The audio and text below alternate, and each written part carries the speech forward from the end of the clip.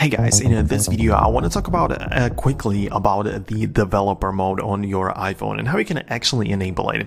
And there are some conditions that you're going to have to meet in order to use it, but to quickly show you where you can find it, uh, well, of course, you need to go to the settings of your uh, device and uh, then scroll down to the uh, privacy and uh, security section. So it's right here, tap on it. And if you go all the way to the bottom, there is the developer mode right here at the bottom of the page. Here you can see security developer mode.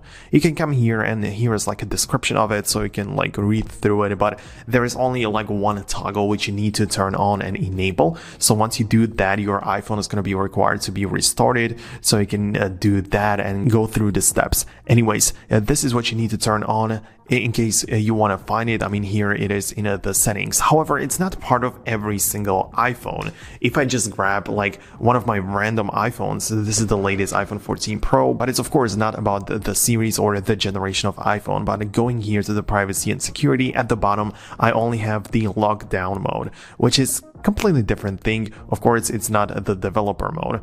And uh, the reason for it is because on this iPhone, on the iPhone XR, which has the developer mode here and available in the settings, I have the beta profile installed.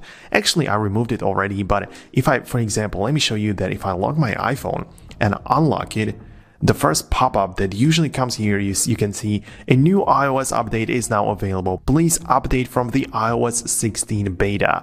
It means that I am part of the developer beta program. Well, you can do that. I mean, you can still do it in iOS 16 by installing a developer uh, beta profile in the settings. So you should be able to find it in the general and VPN and device management. Here you should be able to find the profile uh, that is for your um, beta developer beta. But since iOS 17, Apple has announced that uh, using profiles, it's no longer going to be available to get the, the, developer beta version of iOS. And you're going to have to rely on the actual program where you have to pay like a yearly fee, I believe, for the uh, developer access. So you're going to have to be like an official developer from Apple to be able to do it on your iPhone. So it's going to be like a different thing now. But uh, I'm not saying that it's bad or worse or something. But uh, yeah, you're you're not going to be able to find it in uh, the settings anymore. However, right now you can still do it. You can still go, go in here and enable the developer mode.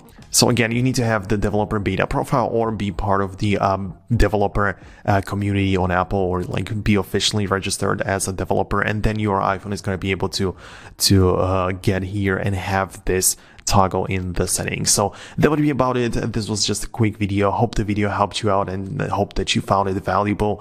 For more content like this, make sure to subscribe to Foxtecc and also check out the next video right here. Thanks a lot for watching and see you guys later.